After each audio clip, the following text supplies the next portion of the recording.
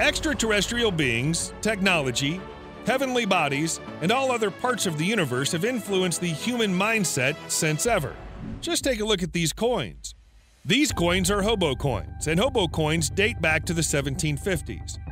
The skull size and eye sockets of the embossed figure resemble aliens that we often get to see in the movies. Another coin seems to have an embossed image of a UFO hovering above the ground. These coins are subject to human imagination and clearly show that humans have been influenced by the wonders of space for a long time. For studying what is there in space, humans needed a fair idea about how the environmental conditions in space would affect living beings, and for that purpose, animals came to the rescue. Since the 18th century, animals have been used for tests aboard balloons and aircraft. A sheep, duck, and a rooster were sent up in a newly invented hot air balloon. The balloon flew for 2 miles or 3.2 kilometers and landed safely. Hot air balloons cannot gain altitude that could potentially take animals to outer space, so let's talk about the animals that actually were sent to space. Common fruit flies were the first animals that were sent to space, they were launched into space via a captured Nazi V 2 rocket on February 20, 1947. The flies reached an altitude of 68 miles, or 108 kilometers, and were recovered alive by parachute. The massive overload did not hurt these tiny creatures, and just two years later, a monkey was sent to space because it was of utmost importance to study the effect of microgravity on the vertebrate organisms if humans were to ever enter the conditions outer space has to offer.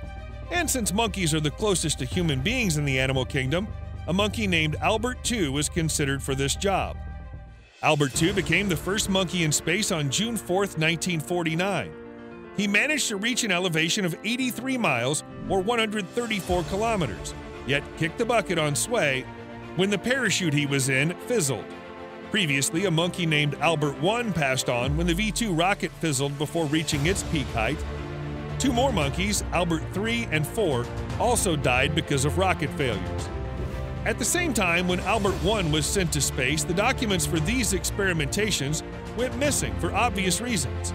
Humans have made use of many animals to explore the space environment especially apes, as these apes were implanted with different sensors and were given sedatives before they were launched. The mortality rate among the monkeys who were sent to space was very high, as almost two thirds of the monkeys that were sent up and retrieved died during their course or shortly afterward. Total of 32 monkeys have flown in space, including rhesus macaques or Albert II, cynomolgus monkeys, squirrel monkeys, and pig-tailed monkeys. Chimpanzees have also flown. After the monkeys, a mouse was sent to space, but this experiment also ended up tragically. It was launched on April 15, 1950, attained an altitude of 85 miles or 137 kilometers, but died when the rocket disintegrated due to parachute failure. Perhaps this was not the only mouse who managed himself a visa for space. Several other mice were also launched during the 1950s. On May 28, 1959, rhesus monkey Abel and squirrel monkey Baker became the first to successfully return to Earth after spaceflight. The monkeys survived 32 times the pull of Earth's gravity and were weightless for 9 minutes out of their 16 minute flight. If you've managed to come this far in the video, do give us a thumbs up. It only takes one gentle caress of a button. Getting back to our topic, after mice, monkeys, rams, sheep, and roosters, it's now time to discuss dogs that were sent to space. During the 1950s, dogs were the preferred animal for the experiments because scientists felt dogs were well suited to endure long periods of inactivity. As part of their training, they were confined in small boxes for 15 to 20 days at a time.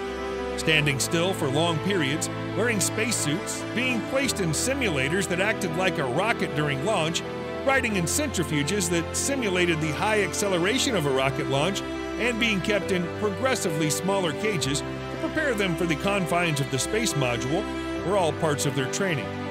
During the 1950s, the Soviet Union propelled 12 dogs on different suborbital flights. Stray mutts were utilized since they were considered capable in terms of dealing with the extraordinary cold. Laika became the first living being to orbit the Earth on Sputnik 2 November 3, 1957. She died several hours into the flight from stress and heat. On July 22, 1961, the Soviet Union launched two dogs named Tsygan and Dezik into space at an altitude of 62 miles. These dogs were the first vertebrate animals that landed back safely on Earth. However, the documentation relevant to this experimentation was kept confidential for about 40 years. Only then we got to know that Dezik only managed to live for a week after his landing, while Tsygan lived another 10 years. Even after Laika's tragic flight, scientists kept sending dogs and other animals into outer space. On July 2, 1959, the Soviets' launch carried two dogs and the first rabbit into space. The Soviet Sputnik 5 was the first to return animals alive from orbit. The passengers were the dogs Belka and Strelka, plus a gray rabbit, 42 mice, two rats, and fruit flies. Belka and Strelka were two lightly colored female mutts. They were used because their lighter color made them more visible. Later reports also claims their photogenic appearance to be one of the reasons. After their landing, Strelka even gave birth to six healthy puppies. On January 31, 1961, Ham, the chimpanzee, flew a Mercury capsule on a suborbital trajectory, three months before Alan Shepard's flight. Enos became the first chimpanzee to orbit a Mercury spacecraft on November 29, 1961. Both chimpanzees survived their flights. Ham proved that most easily doable tasks on Earth cannot be pulled off in outer space, after his flight, Ham lived in various zoos for 17 years. There's a grave in the Museum of Space History as his memorial. Finally, in 1961, Yuri Gagarin became the first ever human to go to outer space. It was thought that no more space experimentations would be carried out on animals, but China launched mice, rats, and dogs between 1964 and 1966. Russian space dogs Veterok and Ugolok orbited a record 22 days before landing safely on March 16, 1966. Their record for longest spaceflight by dogs still stands. In 1969, a monkey named Bonnie was launched, and he was supposed to spend a month in orbit, but his health deteriorated and was called back, but sadly, he died a day after his landing. On October 18, 1963, Félicette became the first cat to go to outer space she had electrodes implanted in her skin to transmit her condition. After reaching an altitude of 100 miles or 160 kilometers, she managed to land safely, but after her landing, studies were conducted on her, and unfortunately, after a few months, she died.